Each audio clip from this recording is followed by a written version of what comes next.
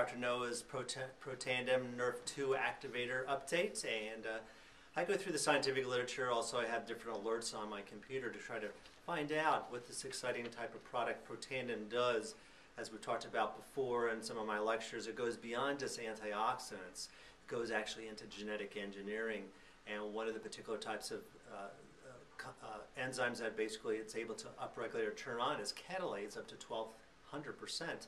So in this most uh, recent article here in the British uh, Cancer 2011, which is right here, uh, it's kind of interesting is that they're looking into different types of novel ways to be able to deal with breast cancer. Now, uh, breast cancer is very devastating. It's a lot of money is really spent. Uh, this is from the American Cancer Society.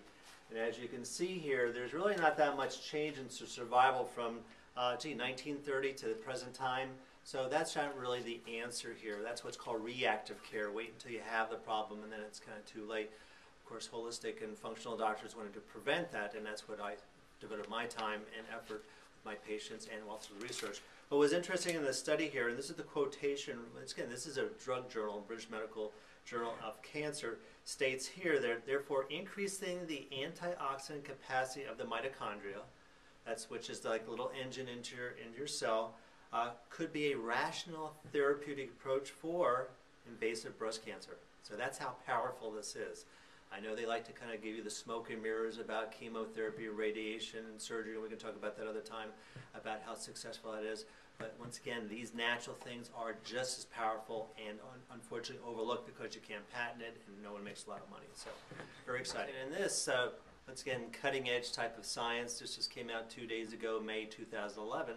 Uh, this, the role of sperm oxidative stress in male infertility and the significance of oral antioxidant therapy.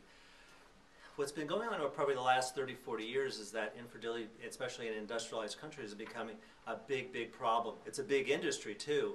Infertility clinics can cost anywhere between fifty and hundred thousand dollars with a twenty percent success rate. So uh, unfortunately, that's not a really an option for most people. But again, you know, a lot of people go that way, and with a twenty percent success rate, what other industry can survive like that? But they do. So obviously, being a natural and functional medicine doctor, is I've helped, and in fact, probably about ten years ago, I had about five infertile type of uh, uh, uh couples, and they all got pregnant. So for that year, I was uh, they kind of coined me the, the, the fertile doctor. So that was kind of fun to be able to help them conceive and have children. Uh, and, and two of them out of the five actually had spent up to about $30,000 uh, at a local UC Davis uh, infertility thing with no success. So let's get a lot of money, no results. So in this study here in Human Reproduction, oh, that's right, that's a peer-reviewed scientific journal article, May 2011. That's right, that's right now. So that's cutting edge. Shows that you know using this particular type of approach, using a Nrf2 activator like Protandim, oxidative stress has a factor to play on lots of different things, and even with fertility here. Uh, and what they state here is that um, this form of therapy should be established once and for all. I mean, these are once again medical doctors that are saying that oxidative stress should be looked at and antioxidant type of therapy, and the best is Protandim. As we've talked about before, you can do the one-to-one from a direct type of antioxidant to free radicals, or like Protandim does, one to a million, which is indirect by increasing enzymes like catalase and glutathione and SOD, which is the more effective way, and that's why it's such a revolutionary type of product and why it has such an impact. So, infertile, Protandim, so says the science. And in this is a kind of exciting article, this just shows you how advanced I am. This is a publication, a Radiation Research Journal, June 2011. Hey, it's still May, so I'm actually going into the future. So, so this is just an early publication of, of this particular type of research article. And it's interesting, it it's actually comes from the University of Pittsburgh. Pittsburgh is actually the third leading cancer research center, if not in the country, in the world. Those also we've talked about is that the head of University of Pittsburgh, a little off the topic there, but still similar like that.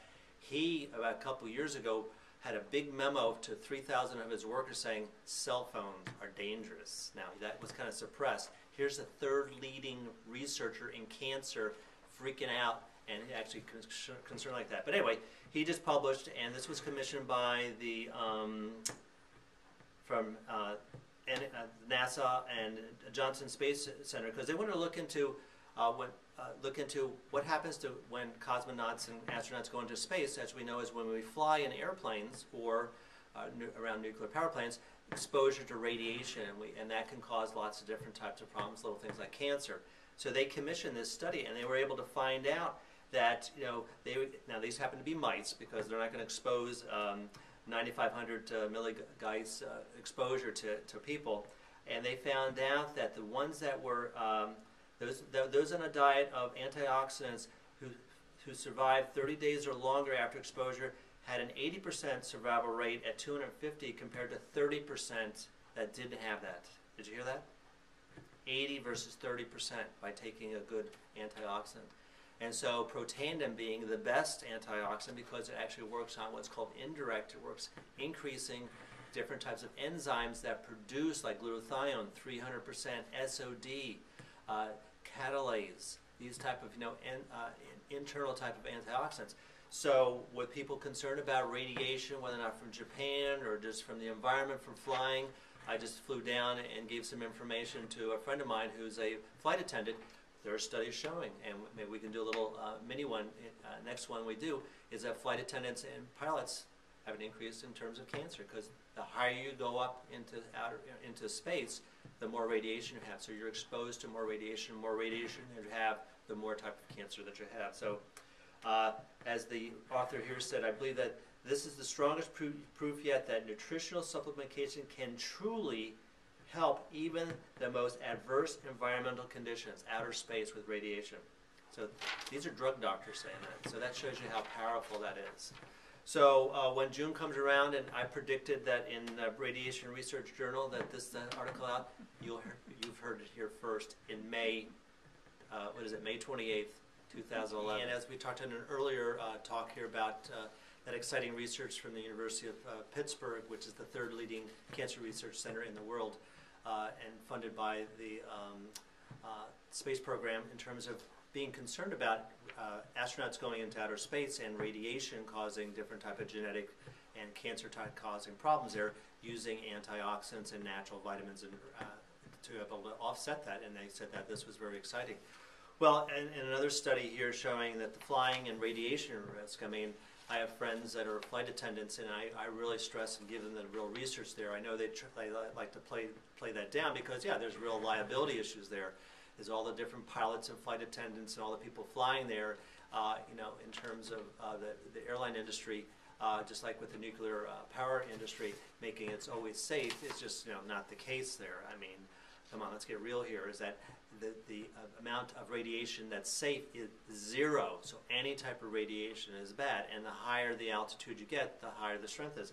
And that's what this article here uh, back a couple years ago from the American Institute of Physics. Oh, that's right. Yeah. Yeah, these are real scientists here. Uh, flying and radiation risk. Physicists call for airline industry to educate workers about radiation levels. So, and, and to maybe be fair, up until this re- recent development with Protandim, there wasn't a lot to do. I mean, other type of uh, what's called direct antioxidants versus uh, indirect oxidants. Uh, um, direct oxidants are like eating blueberries and strawberries, and those are great, but they have a one-to-one ratio in terms of how it kind of neutralizes that. Uh, our bodies produce just by itself, not considering the radiation, three times 10 to the 27th power. So that's uh, three six trillion, uh, which is way beyond uh, how many blueberries you can kind of eat like that. So a better system is using what's called Nrf2 activation, talking to the to this to the um, genes of the body and producing very very strong antioxidants like uh, SOD, glutathione, catalase to be able to increase that by not one to one, but one to a million per second. So it's a lot more effective way. And so if you travel a lot, uh, you fly, uh, even if you live at higher altitudes, there's research to show that those have higher incidence of cancer because the higher you go up, the more the radiation has an impact. Uh, to be able to think about using a Nrf2 activator like Protandim. Thanks.